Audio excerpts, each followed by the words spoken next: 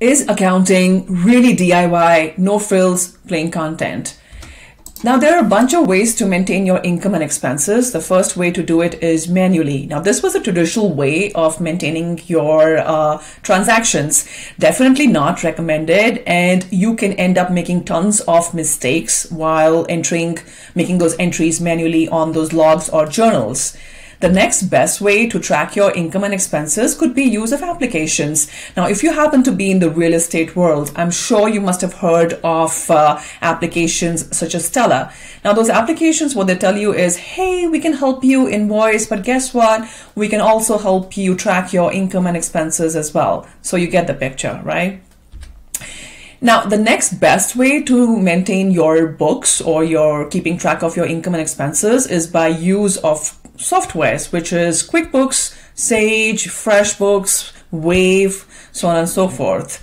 And how do you know which method is best for you to use? So, as a small business owner, it largely depends on how your entity is structured. So, if you happen to be a small, uh, a small, well, a sole proprietor or a self-employed person or even a contractor, where the entity is not separate from the owner itself, and you just need a system or a way to track your business income and expenses, in that case, QuickBooks self-employed option and even Xero self-employed option is highly recommended. But if you happen to be any other business structure other than a sole proprietorship, it becomes a little more complex. Reason being, you need to track your assets, your liabilities, your owner's equity as well, which means you will need a complete accounting uh, record of your um, transactions. You will also be needing access to reports such as your balance sheet, your profit and loss account, your cash flow statements, your month to date, year to date, so on and so forth. Now, in order to get access to those full, for those financial statements, you do need is uh, what you need is a fully blown comprehensive accounting software. So is accounting really DIY? To answer that question, yes. Well, to some extent it is.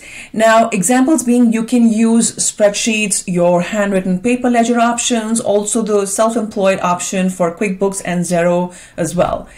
Now, I just want to spend like 15 seconds on QuickBooks. What QuickBooks tells you is that it's easy to set up. It's going to take you 30 minutes max. But what they don't tell you is the concept of debit and credit, which is the concept of double entry bookkeeping. What they also don't tell you that the rule for each of those um, accounts is different. So if you have a bank account, the rules are different. If you have a loan, the rules are going to be different. If you have any outstanding income or prepaid expenses or any other liability, the rules are going to be different for each of those accounts.